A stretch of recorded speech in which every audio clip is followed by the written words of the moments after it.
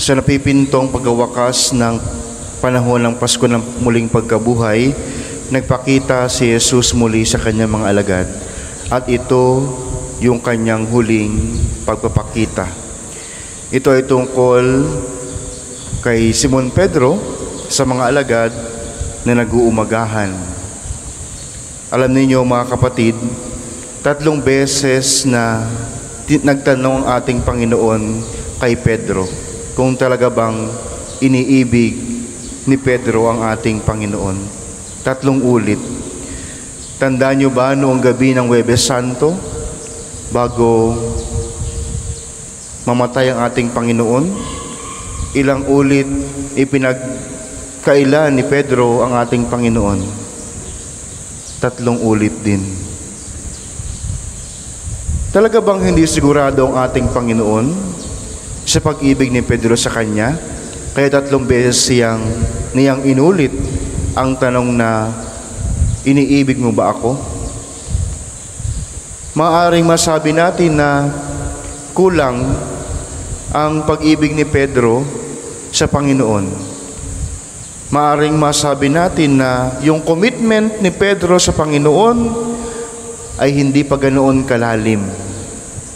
Maaring masabi natin na ang pag-ibig ni Pedro sa Diyos ay mayroon pang pag-aalinlangan. Alam ninyo mga kapatid, hindi natin kayang paglingkuran ang Diyos kung hindi natin siya nakikilala. Sa Ebanghelyo ni San Mateo, noong ipinagkatiwala ng ating Panginoon kay Pedro ang pangalaga sa kawan, nagtanong ang Panginoon, sino raw ang anak ng tao para sa mga tao? At si Pedro ay sumagot ng tama, ang anak ng tao ikaw, Panginoon, ay anak ng Diyos na buhay. At nasambit ng Panginoon na hindi tao ang sumagot nito, kundi ang Diyos na kaniyang Ama.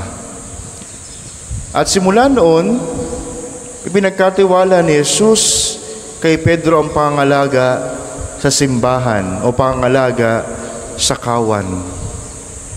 Pero dumating ang panahon ng Itatuwa niyang ni Pedro ang ating Panginoon ng tatlong beses. Napakatapang ni Pedro kung tutuusin. Minsan nasabi niya, Panginoon, ako'y susunod sa iyo hanggang kamatayan. Pero nang nasa bingit sila ng kamatayan, nang iwan si Pedro sa ere. At sabi ni Pedro, hindi ko siya nakikilala. At sa ating ebanghelyo, ipinakikita sa atin na dapat kilala natin ang Diyos kung ibig natin siyang paglingkuran. At kung, kung gusto natin siyang paglingkuran, ang Diyos, dapat iniibig natin siya. Yung pagkakat, yung ipinaggusto, kagustuhan ng Diyos na ipagkatiwala kay Pedro ang kawan o ang simbahan. Ang simbahan ay nangangailangan na pakainin. Ang simbahan o ang kawan o sambayanan ng Diyos ay nangangailangan na gabayan. At ipinagkatiwala iyon ni Jesus kay Pedro na alagaan ang kaniyang kawan. Kaya mga kapatid, hamon sa atin ito na tayo rin bilang tagasunod ni Jesus, bilang mga Kristiyano, handa ba tayong ialay ang Diyos, ialay ang ating buhay sa Diyos sa pamagitan ng pag-aalaga sa kanyang kawan? Ito ay hamon sa mga magulang. Kung hanggang saan ang ating kayang gawin para sa ating mga anak upang sila ay mapalaki ng maayos. Ito ay hamon sa mga pari hanggang saan ang kaya namin gawin para kayo ay pangalagaan, hindi lamang sa buhay espiritual, kundi talagang maipakilala ang Diyos sa inyo. Hamon ito sa ating mga lingkod bayan. Hanggang saan kaya nilang gawin upang paglingkuran ang mga tao?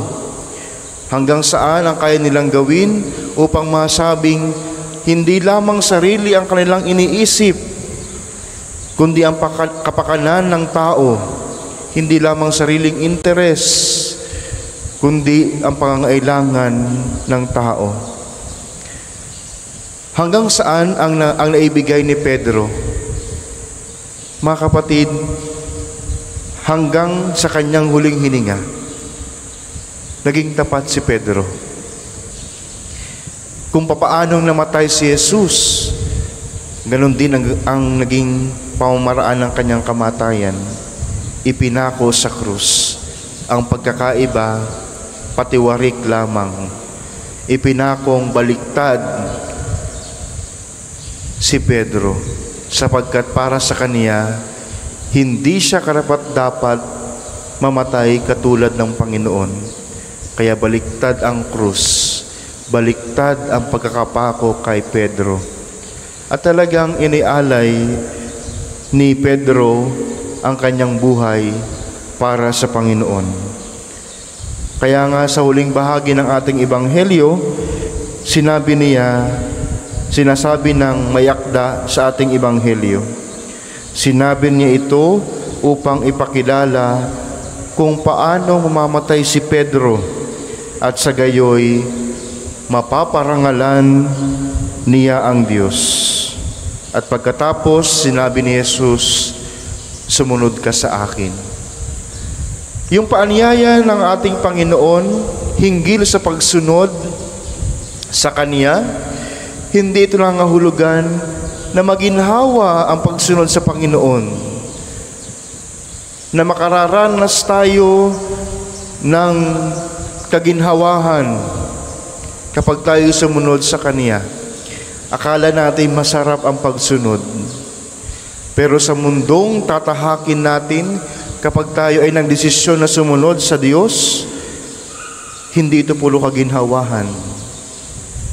Kaya nga nung mga nakaraang araw yung Ebanghelyo, nagpapaalaala ang ating Panginoon sa kanyang mga alagad na kayo'y haharap sa napakatinding pagsubok, na kayo'y haharap sa mga pagsubok na halos hindi ninyo kakayanin. Kaya sa yugtong ito ng panahon na magwawakas na ang Pasko ng muling pagkabuhay, hanggang saan ang ating kayang ibigay para sa Diyos para masabi nating tayo talaga ay sumusunod sa Kaniya.